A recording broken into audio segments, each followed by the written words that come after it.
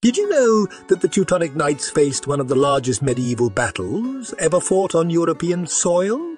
The Battle of Grunwald in 1410 saw the Teutonic Order clash against the combined forces of Poland and Lithuania. Legend has it that over 50,000 soldiers participated in this titanic confrontation.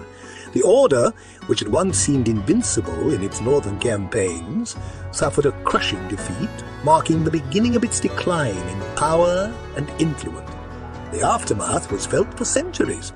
The battle is still celebrated in Poland and Lithuania as a symbol of unity and resistance against oppressors. It's a testament to how the Teutonic Knights, despite their military prowess, weren't invulnerable, and how history often hinges on singular monumental events.